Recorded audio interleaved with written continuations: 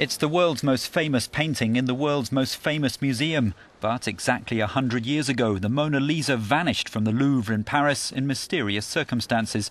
All that was left was an empty space on the wall and an empty frame. The painting had gone. Today, in a small Italian town on the Swiss border, what happened is part of local folklore.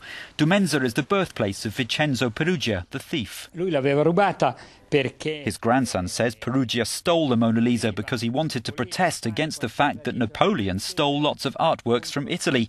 In fact, Leonardo da Vinci himself had brought the painting to France where it remained.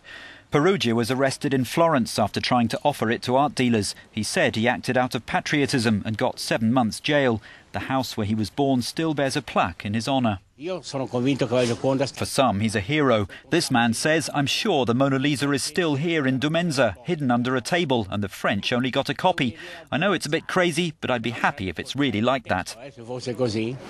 Much remains unknown about the theft of the masterpiece by a man described as simple who fooled the police for two years.